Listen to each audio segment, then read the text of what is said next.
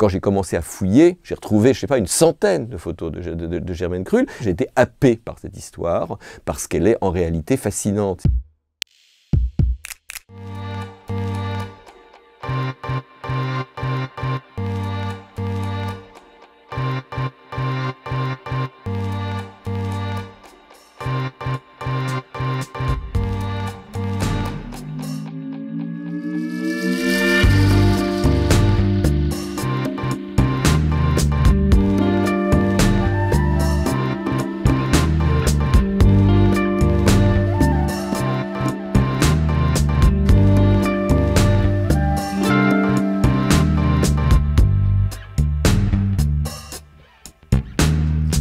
J'en savais le peu de choses que mon père m'avait raconté. J'ai progressivement, assez jeune, euh, découvert d'abord en lisant euh, tout simplement euh, Claude Lévi-Strauss, le premier chapitre de Triste Tropique, que le bateau sur lequel se trouvait mon père avait une histoire.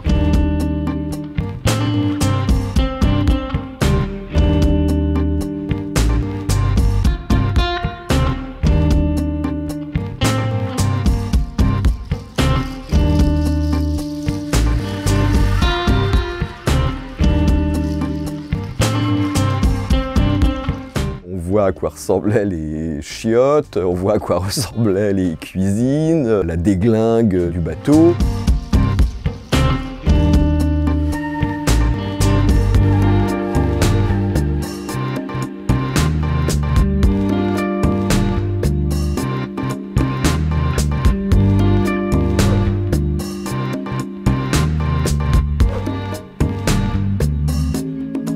Elle racontait l'histoire d'un voyage à la fois bouleversante, historiquement importante, artistiquement importante, dont elle était l'unique témoin photographique. Et il y avait quelque chose, euh, j'ai eu l'impression, de suspendu, un moment de paix au plus noir de la guerre. Il y a eu d'abord euh, échange intellectuel entre Claude Lévi-Strauss et André Breton, c'est documenté. Et il y a eu, euh, bah, tout simplement, du point de vue de mon père, la rencontre avec Germaine Krull qu'il ne connaissait pas, ou bien, encore une fois, la rencontre entre mon père et Victor Serge. Il y a une histoire intellectuelle euh, qui a marqué ceux qui ont fait ce voyage.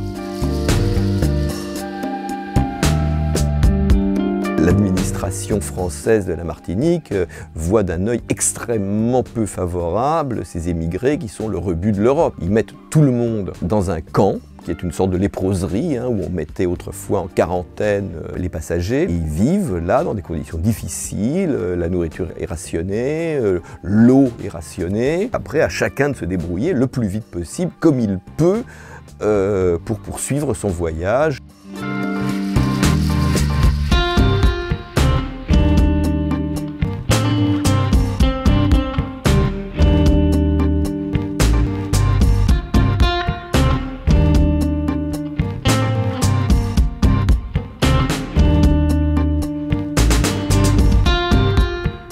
Une amie de mes parents, très gentille avec moi. Mais par contre, je savais qu'on avait des photos de Germaine à la maison. Je savais qu'il y avait des tiroirs dans lesquels il y avait des trucs à elle qui traînaient. Quand j'ai commencé à fouiller, j'ai retrouvé, je sais pas, une centaine de photos de, Germaine Krull. J'ai été happé par cette histoire parce qu'elle est en réalité fascinante.